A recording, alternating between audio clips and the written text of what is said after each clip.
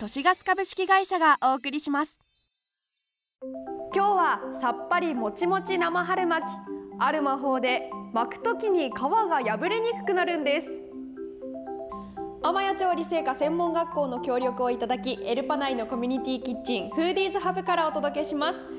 今日の先生は岡島先生です。よろしくお願いします、はい、よろしくお願いいたします。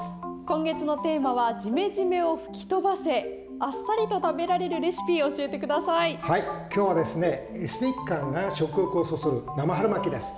きっとですね何個でも食べたくなると思いますよ。あ食欲をそそられるわけですね。はい。あっさりとしていてエスニックな味です。楽しみです。はい。はい、では早速ビーフンの方から茹でていきましょう。はい、ビーフン 50g です。はい、そうです。お湯が沸きましたら、袋のね表示によって多少あの時間変わりますけれども、こちらは5分間茹でます。はい。5分茹でたらお湯を切り、素早く冷水で冷まして水気を切っておきましょう。その時に伸ばしておくと春巻きの時に巻く時に巻きやすいと思います。はい次に、えー、無頭エビの背わたを取りましょう無頭エビ6尾です。はい竹串を用意していただいてですね背中をくるって丸めて、えー、スルッとと引っ掛けて取っていきましょう、うんうん、はい。エビの背わたを取ったら臭みを取るため沸騰したお湯に塩と酒それぞれ適量を入れそこにエビを加えます。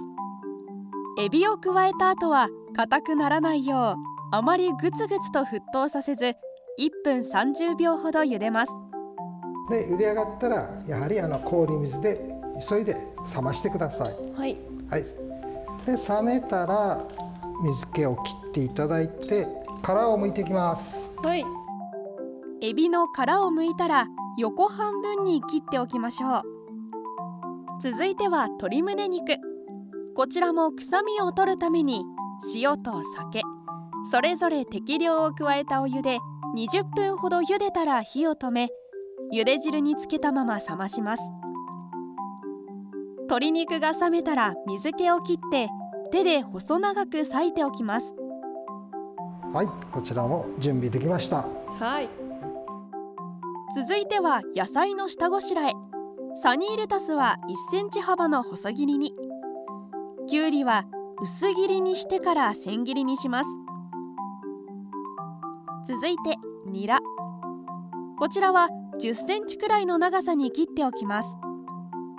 さらに大葉とパクチーはきれいに洗っておきましょう。はいでは、えー、具材の方も準備が整いましたので、はい、いよいよ生春巻きをこうこう濡らしていくんですけども濡らすその前に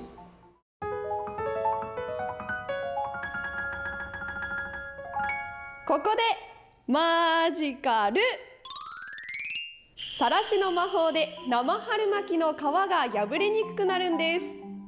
マジカルアイテムのさらしを水で濡らしてから固く絞って用意します。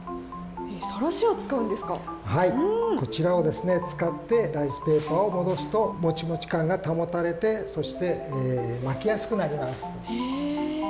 はい、まず1枚目をまな板の上にこう広げていただいてそして、えー、こちら、えー、人肌程度のぬるま湯があります、はい、こちらにまあ通していきますね。はいさっと通します。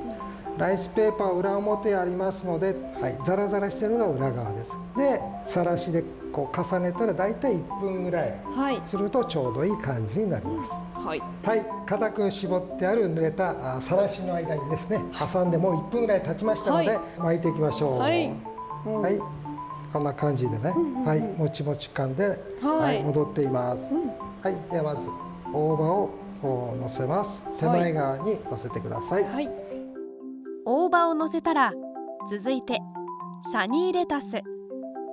ビーフン。鶏胸肉。きゅうりパクチー。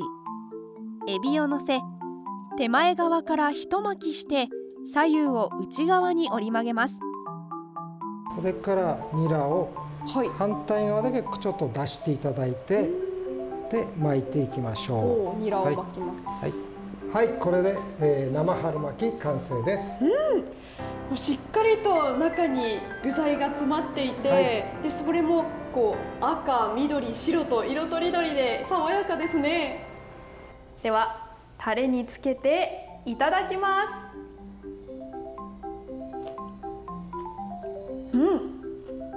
香草の香りがすごく効いていますね。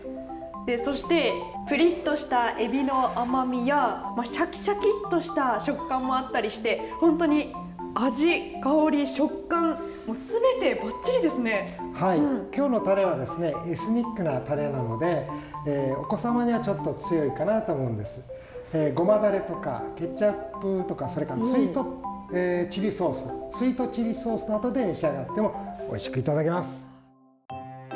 さっぱりもちもち生春巻き。材料は6本分です。今日紹介したレシピは FBCI と FBC アプリでも公開しています。ぜひチェックして皆さんも作ってみてください。今日はさらしの魔法で皮が破れにくくそしてもっちりと仕上がりましたほんとマジカル。